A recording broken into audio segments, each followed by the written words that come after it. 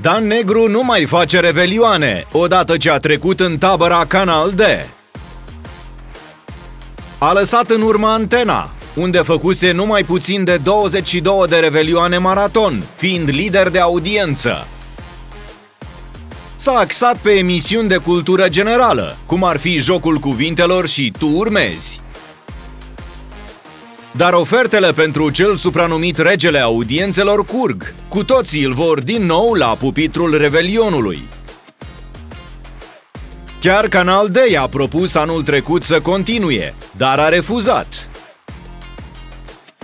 Acum oferta este regească și vine de la un organizator de evenimente care face revelionul la sala Palatului. Aproximativ un milion de euro s-ar strânge, iar Dan Negru ar fi plătit cu 10% din uriașa sumă. Aflați în cancan.ro dacă prezentatorul de la Canal D a acceptat oferta.